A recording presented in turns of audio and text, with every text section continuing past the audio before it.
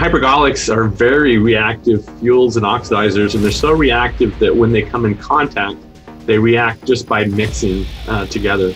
And they've been used in rocketry uh, going back to the Apollo era as very reliable propellants. A big issue with current hypergolics that are used is their toxicity. You may have noticed in the Dragon capsule, there was a delay removing the astronauts because the hydrazine hypergols that were, were present, they picked up vapors and it wasn't safe for the astronauts to get out. We'd like to have good performance and ammonia borane has been shown to have good performance. It's also much less toxic. It's a solid instead of a liquid, so we'd be looking at improved hypergolic hybrids.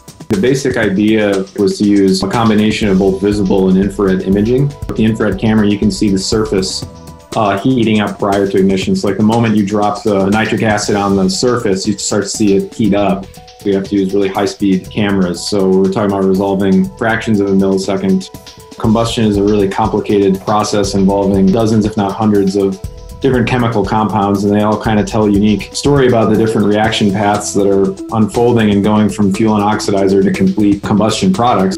There are a few labs that can work with hypergolics, Purdue's one of the few places that able to do this kind of research and be able to handle those materials safely and, and work with these kinds of propellants is, is unique.